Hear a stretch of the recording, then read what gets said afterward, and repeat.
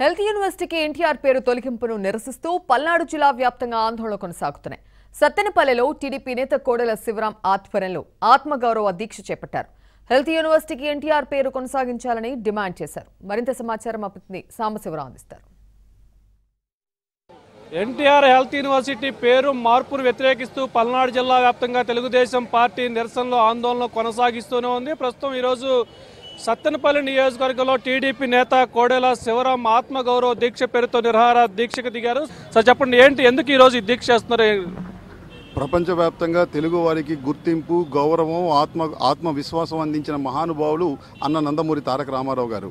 ఈరోజు మొన్న జరిగిన అసెంబ్లీ సమావేశాల్లో గవర్నర్ గారికి తెలియచేయకుండా అర్ధరాత్రి పూట మంత్రుల చేత సంతకం పెట్టించుకొని అసెంబ్లీలో ఎన్టీఆర్ వర్సిటీ పేరు మార్చాలని తీసుకున్న నిర్ణయం ఈ ప్రభుత్వం అవలంబిస్తున్న అరాచక పాలనకి పాలనకి అనాగారిక విధానాలకి నిదర్శనం. ఎందుకు చెప్తా ఉన్నామంటే ప్రపంచవ్యాప్తంగా తెలుగువారి గుండెల్లో చిరస్థాయి స్థానం సంపాదించుకున్న మహానుభావుడు అన్న నందమూరి తారక రామారావు గారు. సొంత కుటుంబ సభ్యులే. ఎవరైతే జగన్మోహన్ రెడ్డి గారి చెల్లెలు ఉన్నారో షర్మిల గారు కూడా చెప్తా ఉన్నారు. ఇది తప్పుడు విధానం. ఎవరైనైతే అన్నగారి నందమూరి తారక రామారావు గారి పేరు తీసివేసి వైఎస్ఆర్ గారి పేరు పెట్టడం తప్పుడు చర్య. ఇటువంటి చర్యలు ఎవరు కూడా సమర్థనీయం కాదు అని సొంత కుటుంబ సభ్యుల చేత కూడా చీత్కారం పొందినా కూడా ఈ ముఖ్యమంత్రి ముఖ్యమంత్రి విధానంలో మార్పు రాకపోవడం నిజంగా బాధాకరం. మేము ఒకటే చెప్తా ఉన్నాం. ఈరోజు NTR versus NTR health university పేరు మార్పు చేయాలి అని చెప్పి ఈ ప్రభుత్వం తీసుకున్న నిర్ణయం వెంటనే విరమించుకోవాలి ఎందుకంటే సార్ మీ జిల్లాకు చెందిన విడుదల రజనీ మాట్లాడుతూ రాజశేఖర రెడ్డి వైద్యుడు కాబట్టి దానికి వైద్య ఎన్టీఆర్ యూనివర్సిటీకి వైఎస్ఆర్ పేరు పెట్టామంటారు అట్లా వైద్యుడికి వైద్య పేరు పెట్టడానికి దానికి సంబంధం ఉంటుంది? ఏమండి టానిక్కి ట్యాబ్లెట్కి తేడా తెలియని వాళ్ళు ఇవాళ వైద్య ఆరోగ్య శాఖ మంత్రులు అవుతా ఉన్నారు. కాలువకి నదికి తేడా తెలియని వాళ్ళు కృష్ణా నది మీద పులిచెంతల పులిచెంతలు ఎక్కడుందో తెలియని వాళ్ళు ఇవాళ ఇరిగేషన్ శాఖ మంత్రులు అవుతా ఉన్నారు.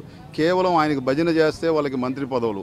చంద్రబాబు గారిని తిడితే చంద్రబాబు గారి కుటుంబ సభ్యుల్ని అగౌరవపరిస్తే వారికి ఉన్నత స్థానాలు. నిజంగా ఎక్కడికి వెళ్తా ఉన్నామండి?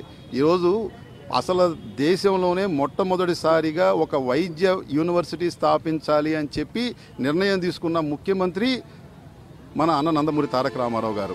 ఆయన ఆశయాలు ఆయన చనిపోయిన తర్వాత ఆయన చేసిన సేవలకి గుర్తుగా ఆయన పే ఆయన పేరుని ఆయన పేరుని తీసుకొచ్చిన మహానుభావుడు చంద్రబాబు నాయుడు గారు. వైద్య ఆరోగ్య శాఖ మంత్రి గారు ముఖ్యమంత్రి గారిని ప్రసన్నం చేసుకునే బదులు మన రాష్ట్రానికి కా వైద్య సదుపాయాలు అందించిన ముఖ్య చంద్రబాబు నాయుడు గారు తీసుకొచ్చిన పథకాల్ని అమలు విజయవంతం చేయవలసిందిగా కోరుతా ఉన్నాం మేము.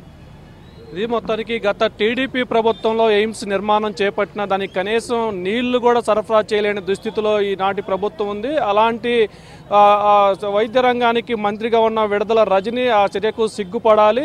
ఎన్టీఆర్ పేరును మార్పుకు కొనసాగించే వరకు కూడా తెలుగుదేశం పార్టీ తాను పోరాటం చేస్తుందంటూ కూడా కోడెల శివరాము చెప్తున్నారు ఇది మొత్తానికి సత్తెనపల్లిలో కోడెల శివరాము ఆత్మగౌరవ దీక్షకు సంబంధించి ఓవర్ టు స్టూడియోస్.